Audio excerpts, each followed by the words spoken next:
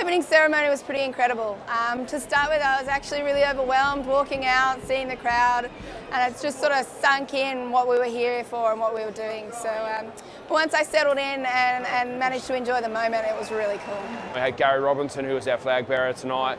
Um, it was a great honour for him, but it was a great honour to be behind them and you know be a part of our team. And now the game's officially open, we can crack onto it, get into our respective sports, and uh, do our best the team was so excited tonight. I think it's brought us all together even more, and I think we've all realised um, that it's all about to start and it's all getting really exciting. So uh, yeah, it's been a really good time. Don't forget about our friends who didn't come home from the battlefield. Don't forget those at home who still need our support. And don't forget that you are proving to the world that anything is possible. You are Invictus. Let's get started.